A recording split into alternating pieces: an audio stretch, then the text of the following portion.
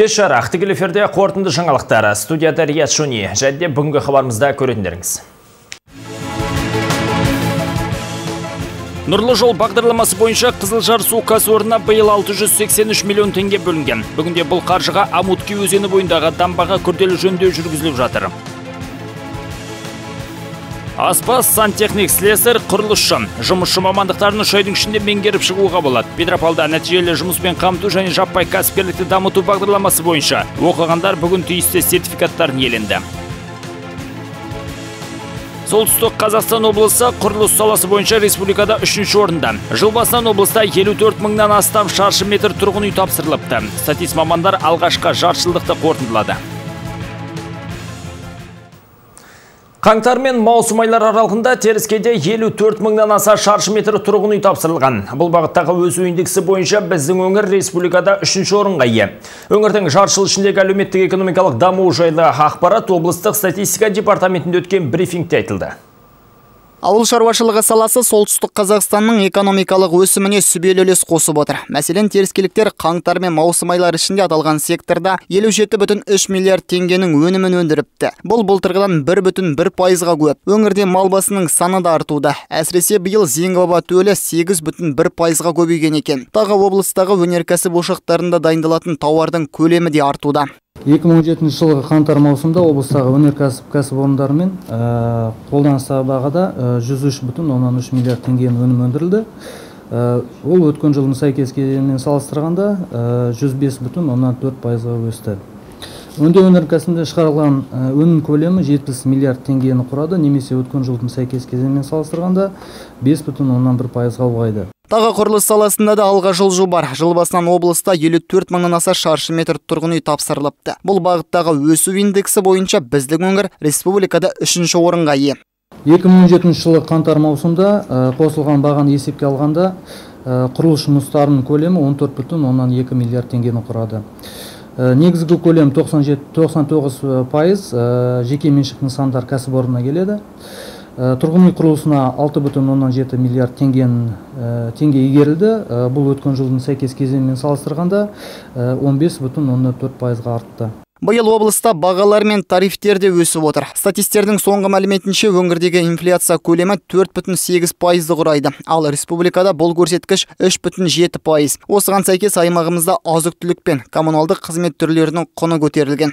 Азық-түлік тауарлар 4,8 пайызға қымбаттап азық түлік емес тауарлар екі бүтін оннан сегіз пайызға қымбаттады. Инфляцияның қалыптасуына халыққа көрсетілген ақылы қызметтер бағалары мен тарифтердің өсуі негізді әсерін тигізді. Жыл басынан тұрғын үй коммуналдық қызметтерін ыстық сумен жабдықтау тұтынушылар үшін 28 бүтін оннан төрт пайызға өсіп орталықтандыру жылу 21 пайызға өсті суық су кәріз 8 бүтін оннан бес пайызға өсті. Сонымен қатар аймағымызда жеміс жидек пен көкөністердің де бағасы 13-тен астам пайызға қымбаттаған. Айта кеткен жөн, өңір бойынша жан басына шаққандағы күнкөрістің ең төменгі деңгейі маусым айында 22 теңгені құрап отыр. Байболат Бектемірұлы, Жұлдызбек Ермұханов, муниципалдық телеарна. Амутке өзені бойындағы жөндеу жұмыстар жалғасуда. Бұл мақсатқа ел қазынасынан 170 миллион теңге қаржы бөлінген. Жұмыстың басым бөлігі бүгінде аяқталыпты. Толығырақ тілшіміз Елмира Сәдуақасова жалғастырсын. Амутки өзені бойындағы дамбада бүгінде жұмыс қызу бұл жердегі су жинағыш тоғанды жөндеу шаралары мамыр айында басталыпты. СК Максимум мердігер компаниясы сол уақыттан бері жоспардың 70 пайызын орындаған. Жалпы мұнда судың есіл өзеніне ағызып отыру барысын оператор басқармақ. Қазір маманның жұмыс орны тұрғызылып, ғимаратқа жақындағы Пресновка селосынан жарық та тартылған. Қазір нысанда 12 адам еңбек етуде. Тағы 6 арнайы ауыр техника жұмылдырылған. Мамандардың сөзінше жоспардың негізгі бөлігі алдағы бір айда аяқталмақ работы ведутся согласно графика жоспардан біршама алда келе жатырмыз. Жұмыс барысын аздап бөгеп тұрған мәселе ресей федерациясынан алынатын шығын өлшегіштер бұндай құрылғылардың жетеуін орнатпақпыз. Уақытылы жеткізілетін болса бұл жобаны мерзімнен бұрын аяқтауымыз әбден мүмкін. Қазіргі таңда автожолды салумен айналысудамыз. Сондай ақ жоба аясында дамбаны көтеру бойынша да жұмыстар жүргізілген. Оның биіктігі 186 метрді құраса бүгінде ол тағы 70 сантиметрге биіктетілген. Бұл тасқын судың алдын алуға бағытталған дейді мамандар. Аталмыш жобаның жүзеге асуына ел қазынасынан 170 миллион теңге бөлініпті. Жалпы нұрлы жол бағдарламасы бойынша қызылжар су жауапкершілігі шектеулі серіктестігіне 683 миллион теңге бөлініпті. Қазіргі таңда бірқатар нысандарда қызу жұмыс жүргізілуде. Реконструкция ғабит мүсірепов көшесіндегі кәрізді коллекторларды ауыстыру 80 пайызға аяқталды. Құбырларды орнаттық. енді тас жол төсеуіміз қажет. айта кету қажет. бағдарлама аясында бөлінген қаражаттың тең жартысы. кәріздік сорғы станциялары ішіндегі жөндеу жұмыстарына арналған. онда жаңа қондырғылар орнатпақ ниеттеміз. Петропавл қаласында 19 кәріздік сорғы станциясы болса биылғы жылы оның төртеуінде күрделі қайта құру жұмыстары жүргізілуде. Нөмір үшінші станция өткен ғасырдың 90 жылдары бой көтеріпті. Сол уақыттан бері ғимарат күрделі жөндеу көрмеген. Сондықтан серіктестік мамандары бұл мақсатқа 250 миллион теңгеден астам қаражат бөлген. Бүгінде оның 40 пайыздан астамы игеріліпті. Замена будет производиться сорға электр қондырғыларды ауыстырмақпыз. Еуропалық бес құрылғы алдырттық. Олардың үшеуін іске қосып екеуін резервте ұстаймыз. Әрбірін 15 миллион теңгеден алдық. Тағы ғимарат терезелері мен есігін де ауыстырдық. Алаңда 14 адам жұмыс істеуде. Станциядағы жөндеу мен құрылғыларды алмастыру шаралары ағымдағы жылдың қарашасында аяқталмақ. Эльмира садуақасова рустам тілеужанов муниципалдық телеарна.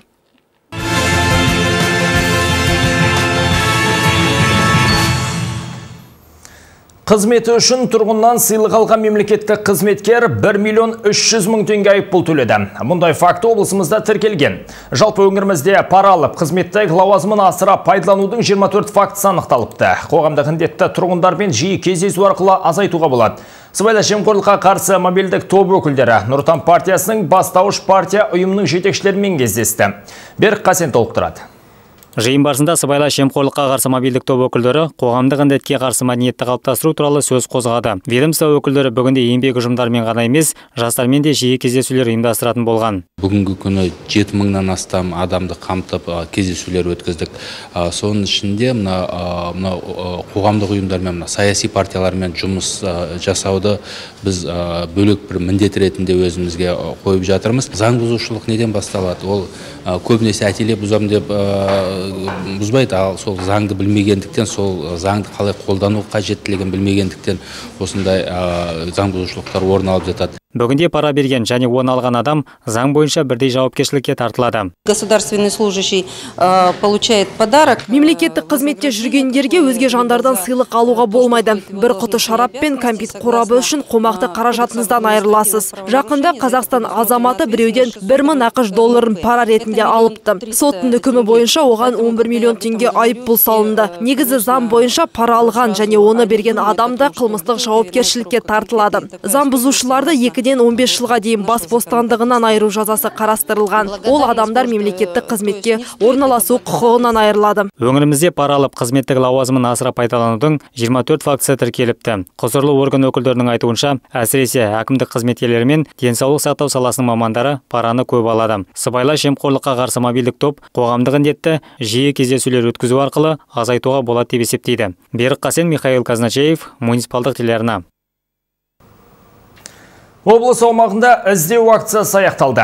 Үш күнге жалғасқан шара барысында тәртіп сақшылары берешегі барлар мен алимент төлеуден жалтарып жүргендердің мекенжайын анықтау бойынша күшейтілген жұмыс жүргізді. Нәтиже қандай? Толығырақ келесі бейнематериалда. Өңір аумағында үш күн бойы іздеу акциясы өтті. Шара аясында көші-қон полициясының қызметкерлері алимент төлеуден жалтарып жүргендерді анықтау бойынша жұмыстарын күшейтті. Нәтижесінде екі күн ішінде бес көкек әкенің мекенжайын тапты. Ал жалпы тізімде олардың саны 32. Облыс аумағында шілде айының 17-нен 19 арасында алимент төлемеушілер мен борышкерлерді іздестіру үш шарасы өткізілуде. Осы үш шара барысында жалпы саны 105 іздестіруде жүрген азаматтар. Олардың арасында 32 алимент төлемеуші және 73 борышкер бар. Алдағы уақытта полицейлер 62 борышкердің тұрғылықты мекен жайын анықтайтын болады. Олар қаржы мекемелеріне, таныстарына берешек болып қалғандар. Петропавл қаласының бір тұрғыны 3 жыл бұрын көршісінен 60 мың теңге ақшаны қарыз қалыпты. Бірақ оны қайтаруға асықпаған. Шыдамы таусылған көршісі сотқа жүгінген. Сотрудник милиция келді айтты, сен розыске осылай осылай. Ақша берешексің. Қайтарам, аманшылық болса міне жұмысқа кіріп, ертерек қайталамын. Бұл акция шілденің 19 аяқталды. Бірақ тәртіп сақшылары берешегі барлар мен алимент төлеуден жалтарып жүргендерді іздестіру бойынша жұмыстарын тоқтатпаймыз деп уәде етуде. Риат облыстық ішкі істер департаменті баспасөз қызметінің көмегімен әзірленді. Петропавлдағы барлық 13 учаскелік полиция пункті күрделі жөндеуден өтті. Тәртіп сақшылардың қызмет орындарына жаңа есік терезелер қойылып, кейбірінің шатыры алмастырылған.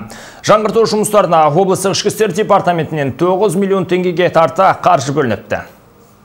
Қаламыздағы нөмірі 10 учаскелік полиция пунктіне соңғы 11 жылда жөндеу жүргізілмеген. Енді міне араға бірталай уақыт салып, құқық қорғаушылардың қызмет орны қайта жаңғыртудан өтіп отыр. Мұнда ескі ағаш терезелер пластикке алмастырылып, электр сымдары тартылған. Жаңа жиһаздар әкелініпті. Тағы заманауи компьютерлер мен принтерлерде жұмыс істеп тұр. Материалдық базаның толығы тәртіп сақшылардың қызметін жеңілдете түспек. Сотрудникам опорного пункта очень приятно работать. Мамандарға мұндай жерде жұмыс істеу өте жеңіл. Қондырғыларымыздың барлығы жаңа. Осы техниканың арқасында күнделікті қызметті сапалы атқарып жатырмыз. Мұндай жөндеу жұмысы шаһардағы нөмір 3 учаскелік полиция пунктінде де жүргізілді. Нысанның шатыры жаңаланыпты. Енді ішке жаңбыр жауса бұрынғыдай тамшы тамбайтын болған. Бұдан бөлек еденге линолеум да төселген екен. Волсом центре 13 участковых пункта полиции. Қаламыздағы барлық 13 учаскелік полиция пунктіне жөндеу жасалды. Кейбірін түкпілікті қалыпқа келтірдік. Біразына қызметті қондырғылар сатып алынды. Жаңғырту жұмыстарына 9 миллион теңгеге тарта қаражат жұмсалды. Жөндеу жұмыстары өңірде әлі де жалғаспақ. Алдағы уақытта облыс аумағындағы 200-ден аса учаскелік полиция пункттерін қайта қалыпқа келтіру көзделіп отыр. Байболат Бектемірұлы, Рустам Тілеужанов, муниципалдық телеарна.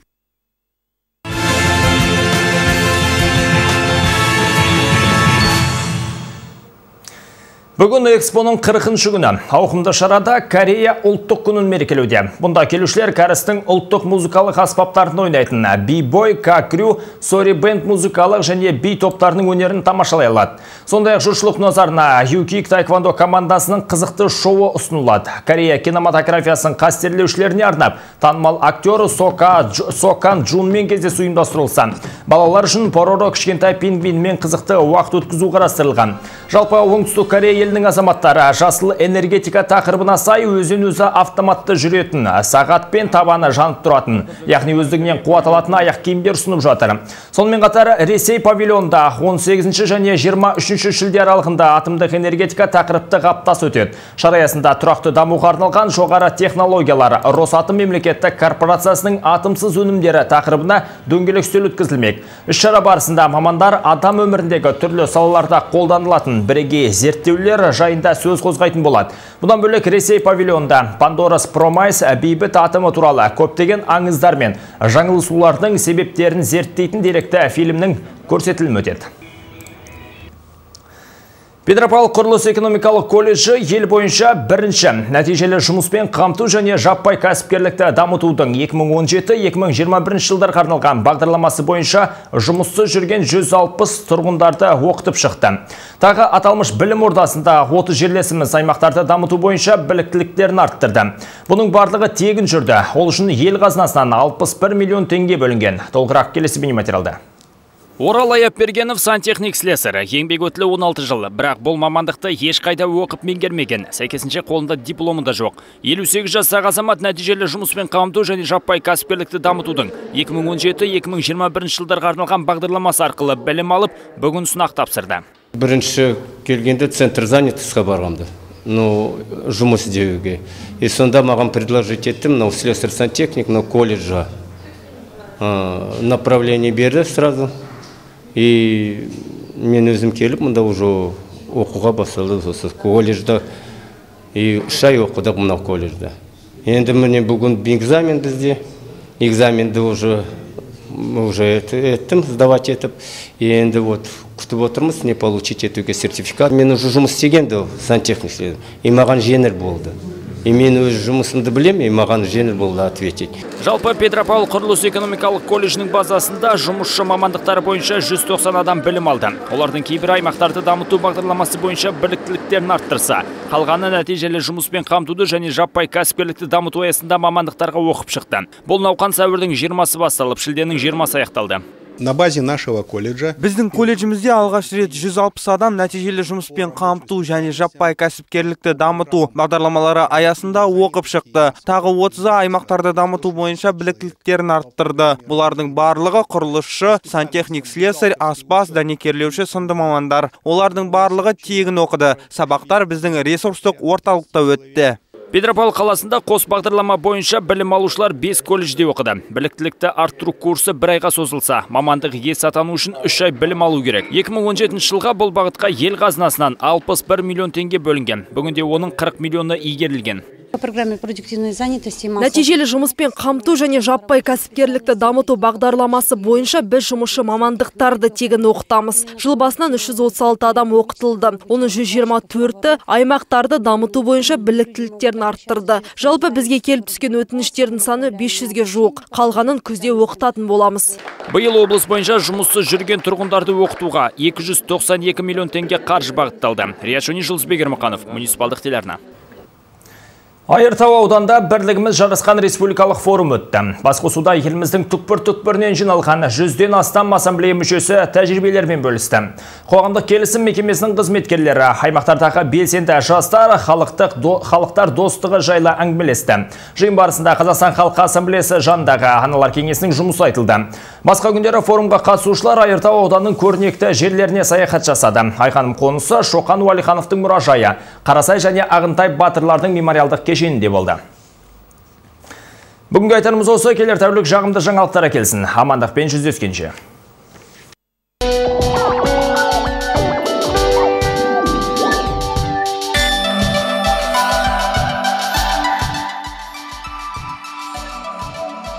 Бейсенбі шілденің 20-сына арналған ауа райы мәліметі. Түнде ауа температурасы плюс 16, плюс 18, күндіз плюс 20, плюс 22 градус болады. Күн құбылмалы, жауын жауады. Батыстан соққан желдің екпіні секундына 3 метрге дейін жетеді.